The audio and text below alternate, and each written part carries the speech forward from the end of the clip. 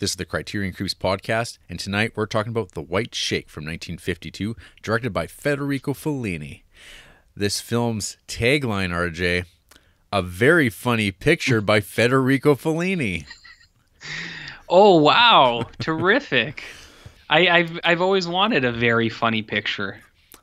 In Italy, small town newlyweds Wanda and Ivan Cavalli embark on their honeymoon in the big city of Rome.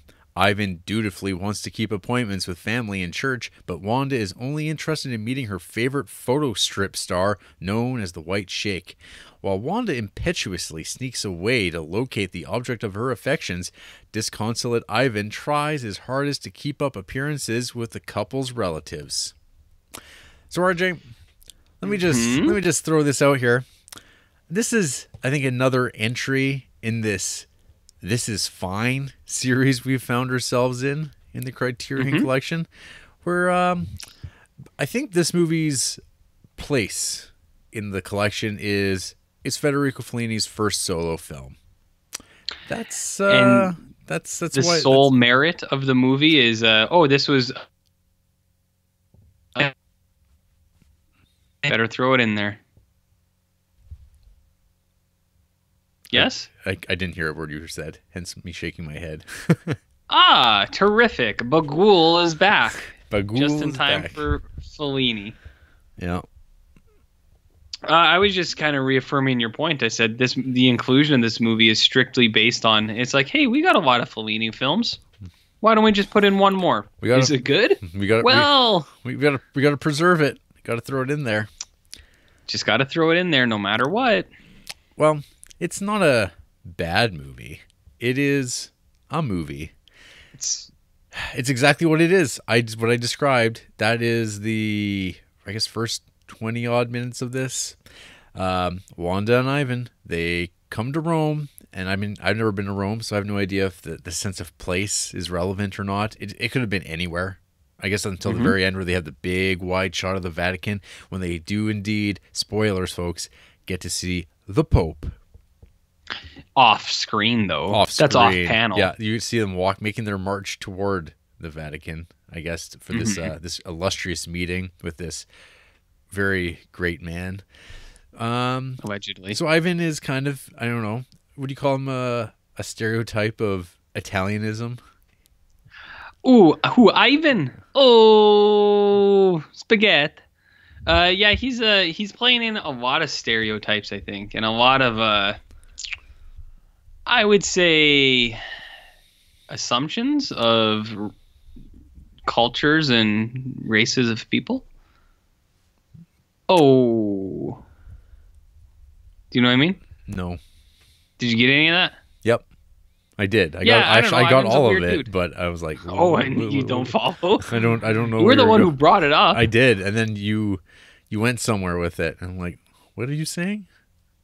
I don't know. Ivan is definitely he's playing a type. Let's say that. he is. What what type is he though? What is he? Personality. yeah.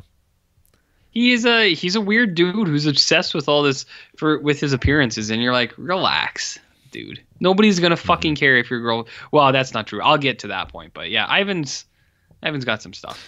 And Wanda is the like very meek, like bride.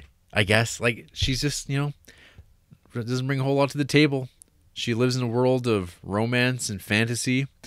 And RJ, I'm not sure if Mhm. you're really uh super familiar with the photo strip because I kind of wasn't understanding what this whole white shake thing was about. Um so, uh, have you confirmed that it's Shake or Chic? it, it's shake. I mean, it all depends. Like, I mean, if you believe Vince McMahon, it's uh, it would be the the white Sheik. But um, I believe Mm. uh, it, it would be the Sheik Would be the proper I'm going off of- pronunciation, I guess. I'm going off of that uh, Legend of Zelda lore when uh, Zelda dresses up as the ninja. Uh, she's, I, I think it's pronounced Sheik, but it's spelled S H E I K. So I'm gonna stick with that. And uh, you say Sheik, I'll say Sheik, and uh, you know time will tell who uh, who the better man is. Yeah, I I don't know if there's a Who who Right know who gives a shit? Well, uh, most people would probably call it the white chic because of probably the Iron Sheik. But Mm. I, I have heard Well, because the- there, there's a um there's a Frank Zappa album called uh, "Shake Your Booty." Who's Zappa? I know, I know Zappa. Yeah, has, his best selling album is "Shake Your Booty." Oh, That's, I, unless you, You- unless you want to call it "Chic Your Booty." Well, I mean that's got that would give it a completely different meaning because if you're gonna chic your booty, that might be like taking it to a spa for a day and you know getting it waxed up, shined, and uh, polished. Right, right, right. Kind of like Uh, kind of like what happens in this film. Yeah, a little bit. Uh, I was gonna say the main main point is who really gives a shit. You whatever you call it, it's it's not gonna make the movie any better. So Yep. take it away, boss boys. boys. So uh Wanda, she uh she sneaks off. She she says she's going to have a bath, a hot water bath, which costs money. And uh Ivan's like, "Yeah, you can you can take one today. I'll take one tomorrow." and you're like, May, I might have a nice bath tomorrow. "That's right on our honeymoon, you know. I'm going to get maybe a little a little stinky downstairs for later tonight."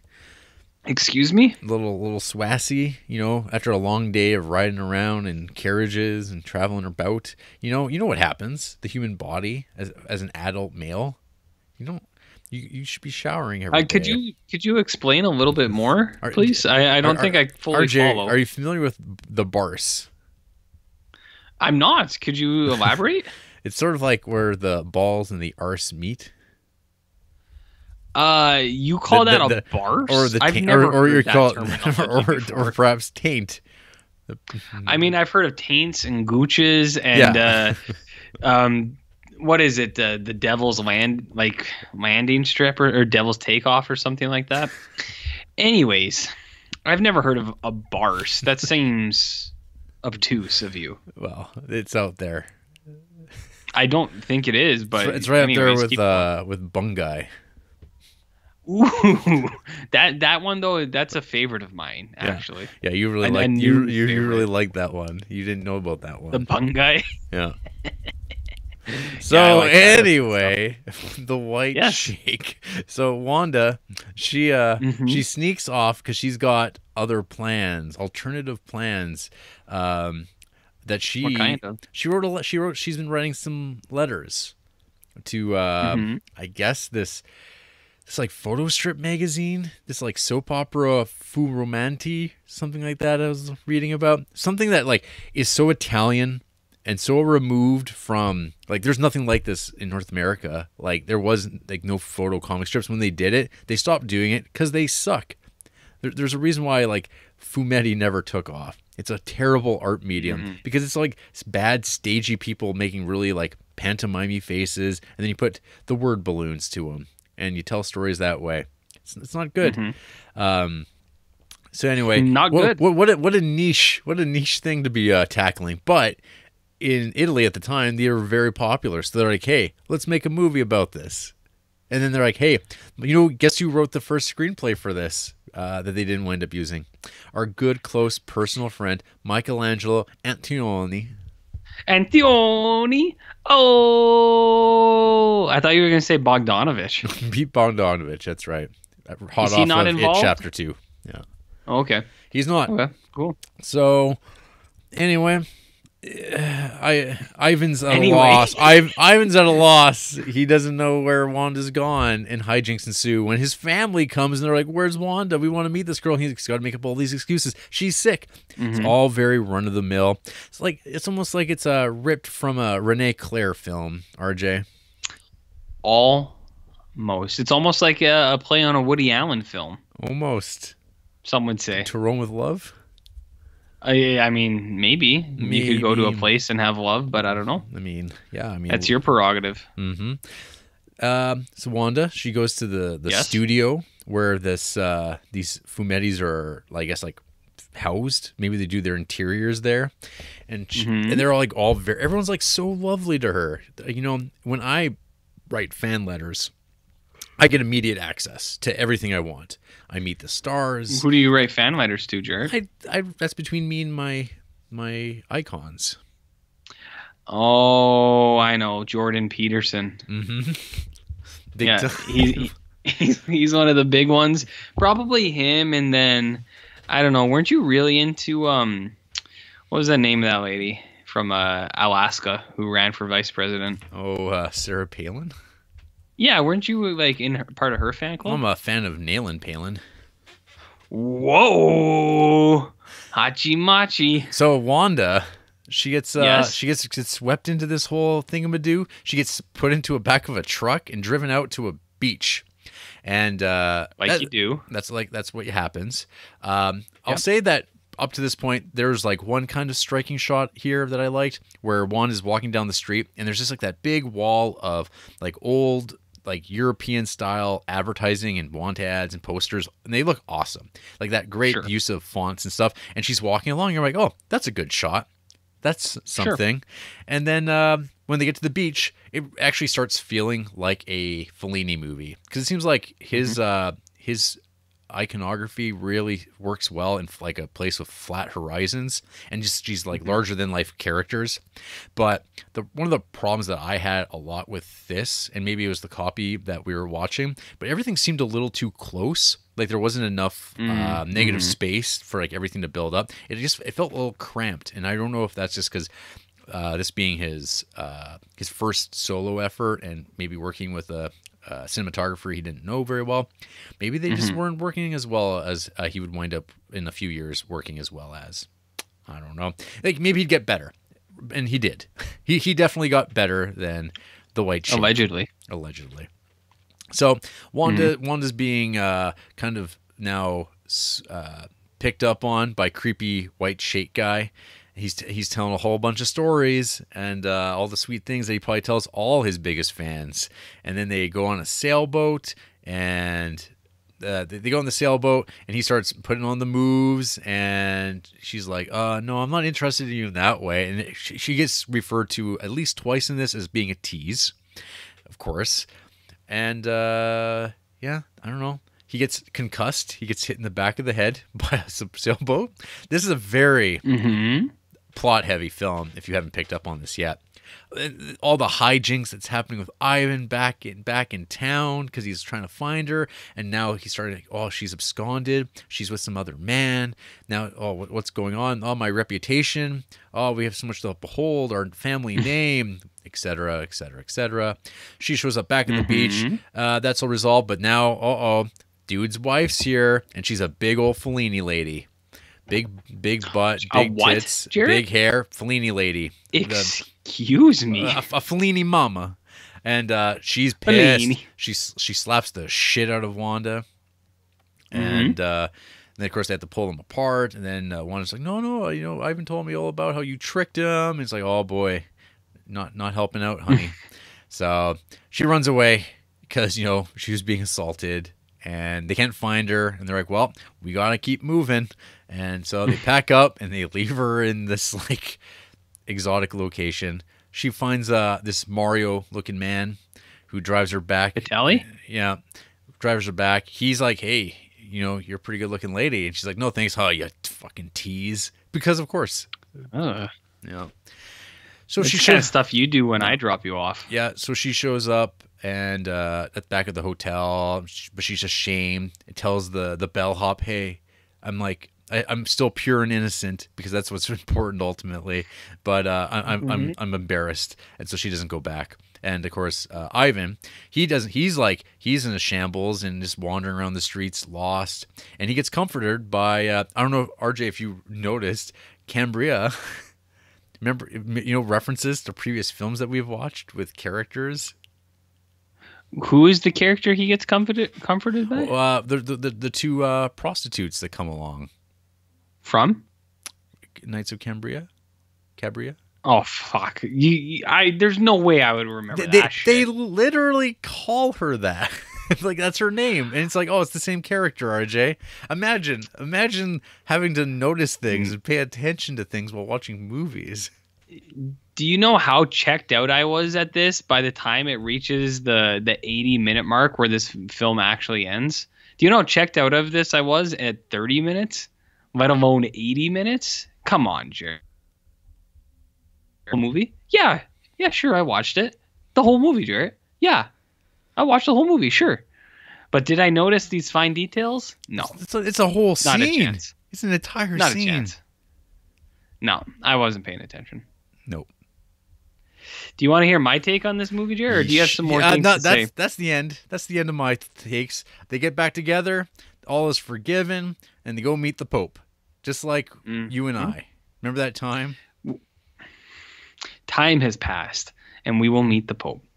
Hey, Jerry, you know how this movie's called The White Sheik? The White Shake? Yeah. Should be called The White Shit. Yeah, I've said that before. Oh, yeah, but I was thinking it too at the same time I watched this. I think this movie has. I think you were giving it too much credit when you said that it's just a whatever movie. I think this movie is like borderline unwatchable. What? I don't. It's fine, but this movie in no capacity needs to exist anymore. Uh, and I think that this movie is extremely dated, and I think it hurts it to a point where I was watching it and I was like, "This sucks. This movie is super lame." Uh, I think this movie is really lame because, as you said, the main conflict is about a woman who is like, she like gets persuaded by like a fancy movie star. Okay. And then she leaves, and then the whole conflict is that her husband's like, I can't tell my family that uh, my new wife is gone. Oh my god! It's like you can't just be like, she's not here, man. Like I, I realized this was like fucking sixty years ago, and it's like that was unheard of because he mentions like, well, you can't be in the elevator alone with a man. It's like that Mhm. is that is uh just scandalous. It's unbecoming. So- yeah so I, I i realized like that was the the air of the culture Sure. at the time Yeah. but i found it i found it super everything with the husband i found so annoying because you have these intrusive ass people he's like pretending to be on the phone with her which is actually like the scene when it cuts back to the porter and he's no selling everything that's actually a really good scene but like so husband's on the phone like pretending to talk to her and then uh the the fucking his family is trying to listen to her talk. They're like, we just wanna we just wanna hear her voice. We need to hear your beautiful wife a voice. Uh, we're so excited to meet her. And you're like, okay. Like I, I realize that it's very exciting. You have a new, new new member to the family, but they can't fucking like withhold themselves for one second. It's like get away from me. I'm on the phone. That that's what I would say, Jarrett. But then they're all like, uh, he's like, no, she doesn't feel good. She's not gonna come. And they go up there. They're like, we're gonna wake her up. We're gonna bring her to the party. And you're just like, These, this Like, I- I- accent I, don't approve of. that's what they say. And but would you not just be like, fuck off, get away from me? And it's like I said, I know it's a different time, but I think the movie is structured in. It's, it's, I- I It's, it's about a world where respect and fumetti were very Ah, essential to, fumetti. to Roman culture, to uh, Fumed. to the Italian character. I I know that like I know that that was at the time and even long after that was how things were. But my problem is that the entire structure of the movie is based off of that. All of the jokes are set up for that. And like every joke I felt like in this movie is picture like if Bugs Bunny was wearing a uh, white collar jokes. Uh, if like picture a cartoon character and it was like pulling on the collar of their shirt, like "Ooh, ooh, ooh," and like steam coming out. Mhm. That's this whole movie. Yeah. And I, I get it. Some people still find this extremely funny, Some, and that's fine if you like it. it's not Some funny. do. This this is a comedy. It's, It's- not. it's It's, not- not, very funny. yeah, and and that's what I mean. I think this movie is incredibly lame. Uh, for See, I- all of those. I don't even think it's lame. It's kind of just like I think oh, it's lame. It's it's what it is. It's like a it's a comedy that was made for an audience in 1952, and Yep. uh, it's like not even like it's it is for Fellini completionists only. Like, and Yes. that's that's stretching it. And it is, uh, as I said, this belongs in the "this is fine" question mark, where it's just like this Yeah. is not for me. It's not. Like, I, I watched it. Um, I it pretty well held my attention the entire time, and like it wasn't like bore. It wasn't boring. It was like, oh, Mhm. just scenes like things happen, and but at the same time, I'm keeping in my mind. I'm like, yeah, it's uh, it's definitely uh someone's first film where they're probably making material that they're not terribly invested in either because it was work. Mhm. Very, it was very work. It's very workmanlike. Yeah. And yeah, I get that too. Like I know when you say it's fine. My my big thing with this, I think it's super lame. But I don't actively dislike it. Where let's say Horse's Mouth, my man Godfrey, or like I know see, where I'm. I'm. I know where I'm going. Just let me finish. Those movies actively annoy me. They they're just like those movies annoy me. And then there's movies that are downright bad, like Sid and Nancy. And, what? Uh, You- Henry Henry so the full of Fifth. shit. You gave. I think you you liked Sid and Nancy fine at one point. Nah. Yeah. Uh, Sid and Nancy's annoying too. Anyways, I just mean it's not. It doesn't annoy me or make me mad like other very low-rated movies in the collection so far. I just think it's like I don't. I think it's super dated. Like all every joke in this movie is about. He's like, I don't know if my wife is. Oh, that's a different accent. I don't know if my wife is Oh my is having the sex with other people, and you're like, okay, is that is that now, is that a quote? Uh, you don't can you you can't even lie that is entirely what this movie is about Well, yeah. is it yeah, my she's like, wife i don't know if my wife's like banging other dudes and Uh, then or like, a dude. Right? bang banging A dude. dude. So that's not me. And and then i feel like the other part of it is like kind of on is the is that nose old and timey? Is that like something that people don't worry about anymore? Don't No, like, people still worry about they, that. They, sure I- do, RJ. Some might even say it's universal.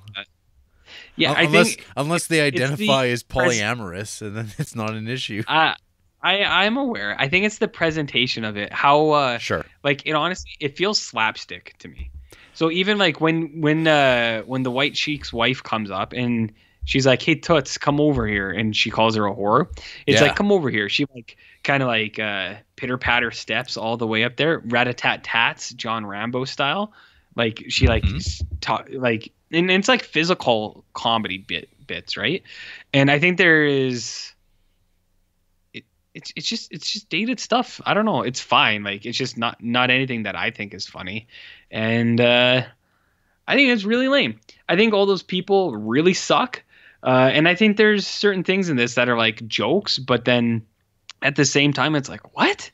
Uh, like when she leaves, like a complete fucking lunatic, she leaves the tap running on the bathtub and the water fills it everywhere. And it cuts to him. He's like screaming to the heavens. He's like, My wife. And it's it's very playful and it's very slapsticky. But then at the same time, 60, 70 years later, not 70, yeah, yeah, 60, 70 years later, you're kind of just like, Hmm. eh, eh, whatever.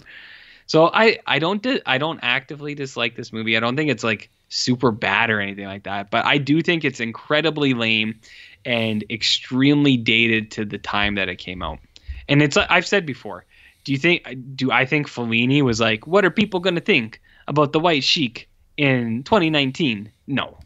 I I I, I acknowledge that completely. But as a man, as a man, Jarrett, watching Tell me it- more, Mel. as a, as a hetero cis male white man watching it in 2019. Maybe maybe uh It's- maybe Mel Gibson it- needs to remake this. It seems to be uh, material relevant to his interests. You you know what you know what he would do though? He wouldn't just like show that the white sheik is like a scam and uh, just like this schlubby dude. He would actually have some scenes set up in there where he's like using torsos as shields running through turrets, Hawkeye style, Mhm. and uh, you would just be like, yeah. Mel Gibson really uh, glammed this up. That's uh, that's what we always that's what this show always needed. I'm curious how uh, the works of Mel will age 67 years later. Plus, probably not. But what does age well sixty plus years later? All the good stuff we've talked about, some, I guess. some good stuff. Hey, how about that uh, Passion of Joan of Arc? That movie's old as shit, and That's uh, true. It holds up pretty good. Hey, RJ, Well, want- and yeah, exactly. Anything about- in our top Yeah. twenties are good. you want to yeah, hear what- what are who, you gonna say? Who, who hates this movie? Who even has the time to hate this movie, Well, other than me, because few- I have few. to. Uh, here's a few people. Yeah, Okay. we got Pandemonium with one and a half stars. All the worst tendencies of Italian cinema in a movie. Just loud and obnoxious people. wow. I mean, I feel like that's a mark against Italians in in general, and not not necessarily Italian movies. What about those And I Dario, like are those Dario Argento movies? I don't know. Are those filled with loud and obnoxious people? What the hell? I guess it's, Maybe. This is, I this, ju- these I are the worst tendencies of Italian cinema. Right. I think this person's gripes are more with a uh, an entire like collection of people instead of just a collection of film. Uh, they gave Playtime five stars and Grand Illusion five stars, Jarrett. And they say they don't like Italian movies, but they gave Stromboli five stars. That sounds Italian, if I ever heard it. Are you a Stromboli guy? I've never had it. You've never had Stromboli? No, I don't think so. Man.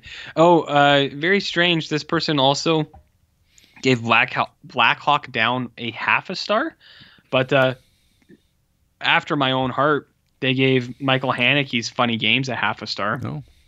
So they're not totally out there. Uh, when do you want to eat Stromboli? I'll take you. Simon, one and a half star. It's Yes. trying way too hard to be this super dramatic Italian movie, but it fails miserably because I laughed almost halfway through.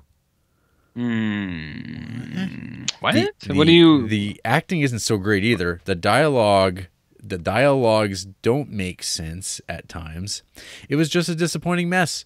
Oh, worst Hmm. of all, the Sheik was not at all dreamy. He looked like a gay Italian Jay Leno. Um, I uh, I don't know. I didn't think that, but now that it's been presented Yeah. to me, it's kind of it's like, oh He yeah, maybe maybe a- that had- is gay that- Italian I, gay I, I did often like when I was looking at this man. I mean, mean, he's not he's not my, he's not my cup of tea uh, in general. Yeah. But I, I also am like, this man isn't that attractive. Like he seems like a, a thick kind of thick boy. Got that kind of a that weird, what? that, that Leno chin. But like, he's like doesn't seem like that all that all that great. Not a very uh he's not a peach. You know, he's not someone I'd be going out of my way to be like. I want to hang out with you for a little bit. Let's just chat. Because this poor naive woman, you don't just go and chat with famous men. They want something. They always do. Oh, uh, Simon concludes. Also, I want to know how did the family got to see the Pope so easily? Probably a good question. I, I don't think they let just anyone see the Pope, but I mean, he Family mentioned several times. Yeah, Yeah. yeah, that his his fa- uncle works for in the Vatican, so I think it's established what, there. What else does the Pope have to do in 1952 exactly? Uh, there was a lot of stuff going on in the fifties, Jarrett, in the Catholic religion. Did you not know that? I don't. I don't give a shit. But I mean, obviously they're they're they're they're hanging, they're, they're meeting uh, these like nobodies. So I mean, not much to do. You ever seen the You ever seen the movie Sister Act? That's what the Pope was doing. Finally, Hey, what? hey, yeah, yeah, hey, yeah. Tell me. Yeah, tell, tell, me tell, no, my- yeah, get to it. Tell me about You gotta Simon. let me do do my thing. Uh, do you like Jarrett? Do you like the movie Step Brothers? Mm, it's okay. Uh, Simon gave it a half star. Mm, that's a bit much. That's almost as like a that's almost like saying that white shake is white shit. white shit. Yeah, I think so too. Uh, a lot of their five star movies are just animated things, but this is what what I find strange. So their bio says they're a French Canadian film student. Okay, Ah. sure. However, you know what I find very strange? The White Sheik is their pinned review. Are they that proud of it? But why? Maybe it's very popular. How many likes does it have? Two. What? I, I don't I don't know. I mean they don't they don't have a huge fan base this Simon person. They have 10, 10 followers is all, but uh, I don't know. I just find that strange. It's like why is how is the White Sheik their pinned review on their uh, their thing? this is Bizarre. the one they'll remember me by. This is the one everyone's gonna remember my one and a half star White Sheik gay Leno joke. That's right. Wonderful. Ethan Rosenberg, two stars. I find Fellini's blend of carnival-esque, borderline, if not outright, farcical tone and serious as hell melodrama wildly insincere. His characters are superficial at best, which is why his most successful films work primarily because of the strong performances at their centers. V's uh, Juliette Masina and Cabiria. Remember, remember Cabiria? Remember her showing up in this movie, RJ? Marcello What's Mastroianni uh-huh. in uh, eight and, and eight and a half. These actors can evince, evince that blend with the flick of the eye or a particular expression. They embody what makes Fellini tick. Ju- uh, Masina has a cameo here in The White Sheik, totally blowing these actors out of the water with her charm and pretty much proving my assertion so much that RJ was like couldn't stop talking about it. Was hovering around one and a half stars until the last scene, which has some inexplicable magic.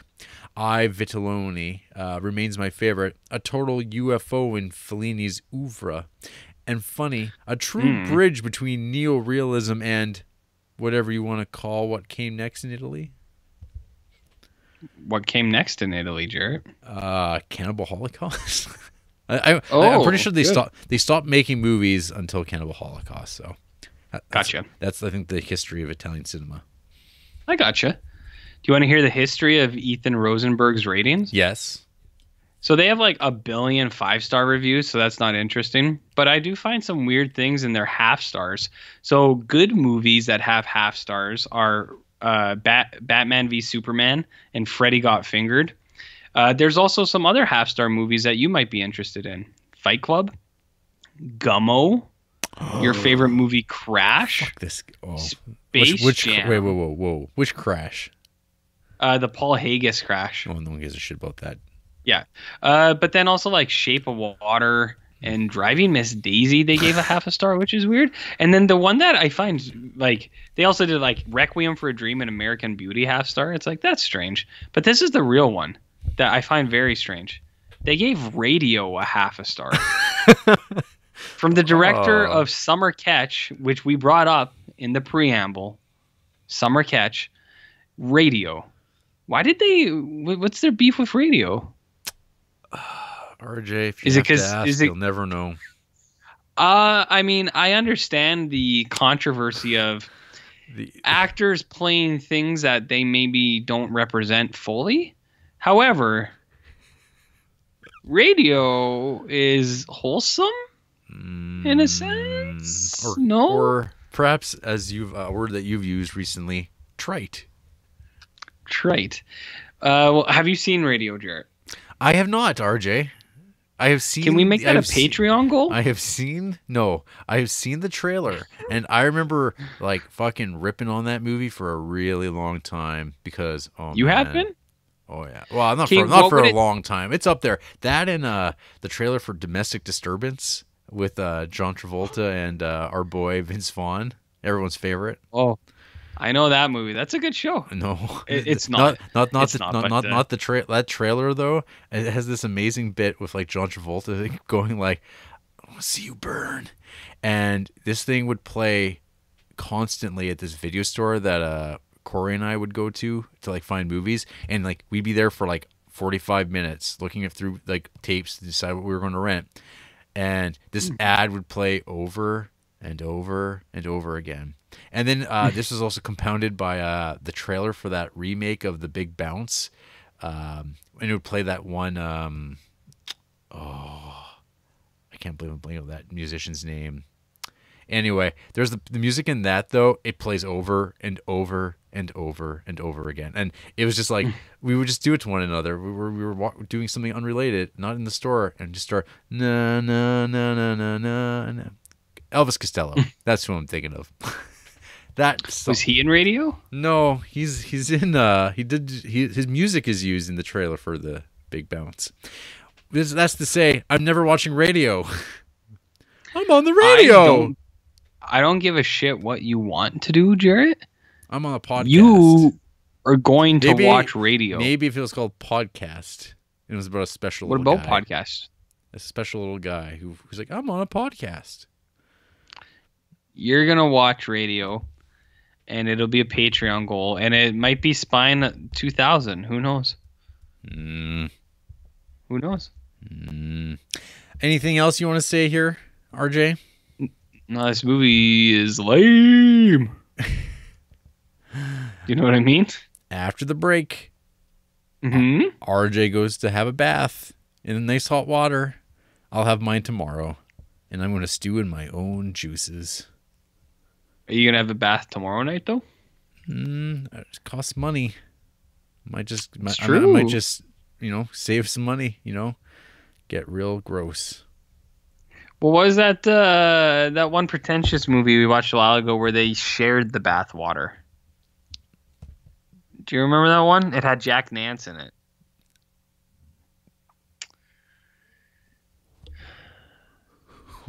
what? Do you not remember that movie we watched like fucking two months ago with Jack Nance in it?